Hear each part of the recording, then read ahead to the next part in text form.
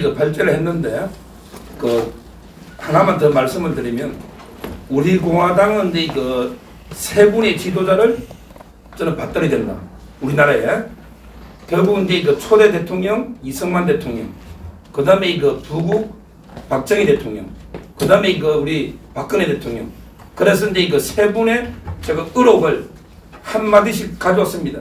이걸 보면서 이게 3년을 다시 한번 회고해 보면 저희가 이승만 대통령 지금 얼마 전에 그 보훈처장이라는 자가 축사하면서 계속이 한 번도 저는 현 정권에 있는 분이 이승만 대통령이다 말하는 걸 이렇게 본 적이 없어요.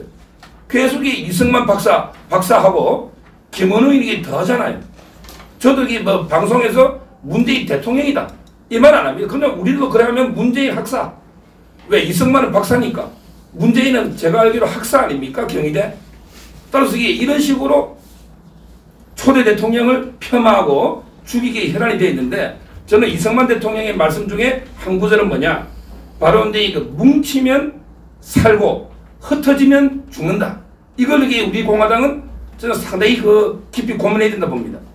지금 이게 그 태극기 뿐만 아니라 이게 자유파가 상당히 그 사분오열 아주 이게 그 지금 그래 돼 있습니다 이래가지고는 이게 그 문재인 정권을 심판하기가 쉽지 않아요. 저는 항상 이게 그한 명만 팬다. 그게 바로 문재인이거든요. 옛날에 제가 변희재 변론할 때도 야 변, 변희재 그 제가 변론했었거든요. 그때도 이게 너 문재인만 욕해라. 다른 이게 자유파는 욕 좀 하지 마라. 제가 이렇게 그 말한 적도 많은데요. 저희는 이게 주적이 누군지를 알아야 돼요. 주적이 현 문재인 종북 좌파 정권 아닙니까? 나머지는 되도록이면 포용하고 태산은 한 줌의 흙도 거절하지 않기 때문에 태산은 높아지는 거예요. 그렇게 바다는 어떤 물이든지 포용을 받아들이기 때문에 그렇게 넓고 깊은 거예요. 아, 물론 이게 저희가 자유파 중에도 포용해서는 안 된 사람도 있어요. 대표적인 게 김무성이나 유승민이나 이런 게 탄핵 적들 이런 사람까지 이, 이 사람들에게 독극물을 바다가 받아들이면 바다도 오염됩니다. 이런 게 포용이 안 되는 사람도 있고 또 이게 김종희처럼 영혼이 없는 철새 이리 갔다 저리 갔다 뭐 문재인 편에 붙었다 이리 왔다 이런 사람까지 포용할 수는 없지만 그게 아니고 확고하게 자유파 같이 투철하면서 문재인에 대해서 제대로 투쟁하겠다면 가능하면 우리가 통합하자 뭉치자. 이게 바로 우남 이승만 초대 대통령 뭉치면 살고 흩어지면 입니다. 이 말씀을 소개하고요. 그 다음에 두 번째 박정희 대통령의 의혹은 너무 많지만 제가 이제 오늘 가지고 온 의혹은 미친 개는 몽둥이가 약이다. 이 말씀이 게 옛날에는 상당히 그 북한의 그 무장 공비 들어올 때 미친 개는 이게 그 몽둥이가 약이다. 그럼 이게 북한 정권이나 지금 문재인 정권이나 똑같잖아요. 결국이 꼭 미친 개 뭐하듯이 지금 이게 완전히 광견처럼 정책을 이렇게 나라를 이끌어가고 있잖아요. 이런 경우는 이게 그 저는 이게 몽둥이를 들어야 됩니다. 옛날에 그 중국의 노신이라고 있잖아요. 근데 이걸 조국이가 조국이가 자기 페이스북 옛날에 박근혜 대통령 탄핵 국면에 조국이가 노신 말을 하나 페이스북에 있었어요.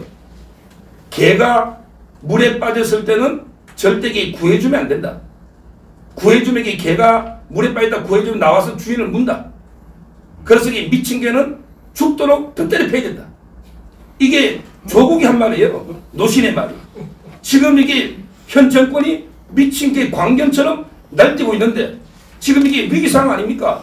지지율이 폭락하고 다 지금 위기 상황이잖아요. 이런 경우에 저희가 조금의 동정이나 이게 구해주려고 해서는 안 돼요. 더 이게 죽도록 더 심하게 때려 패야 된다. 이건 이게 좌파들도 해온 거예요. 우리 저희는 백배 천배 더 갚아줘야 된다. 그래서 이제 박정희 대통령이 미친 개는 몽둥이 약이다. 이 말을 제가 현 정권에 제가 공격을 해야 되니까.